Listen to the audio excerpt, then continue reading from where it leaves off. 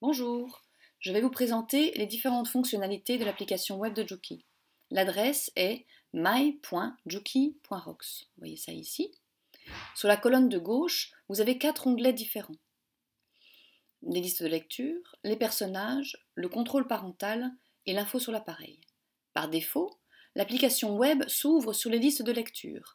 Vous voyez toute la liste des listes de lecture et tout en bas, l'endroit où vous pouvez ajouter une nouvelle liste de lecture.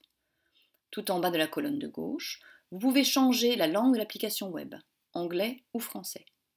La longue barre bleue tout en bas indique quelle, chanson est actuellement en train de jouer, sur Juki. Voilà, ici on voit que c'est Maroon 5 de Sugar, que c'est le dragon. Ici, la baleine.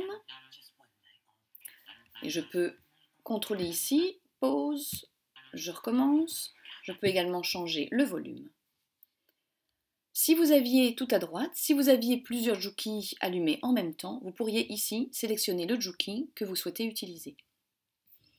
Prenons les onglets un par un dans la colonne de gauche. La liste de lecture, c'est la fonction principale de Juki. C'est celle qui est sélectionnée par défaut quand vous ouvrez l'application web.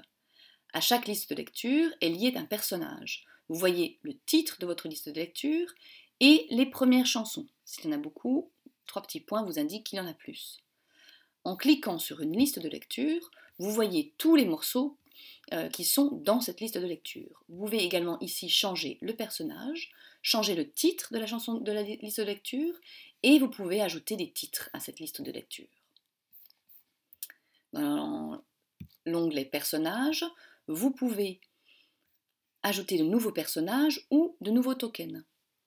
Vous pouvez par exemple ajouter un personnage blanc, un personnage noir ou un token.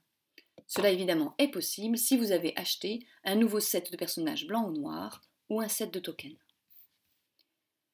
Pour le contrôle parental, vous pouvez limiter le volume. Par exemple, ici le volume est très fort.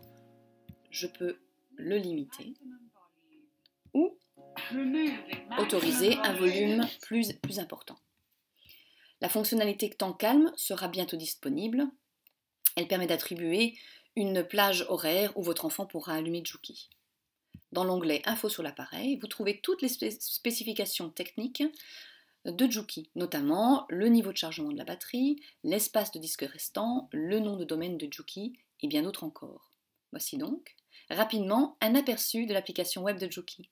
Pour plus de détails, n'hésitez pas à consulter notre site de support où vous trouverez d'autres vidéos et les réponses aux questions les plus fréquentes. Merci, au revoir.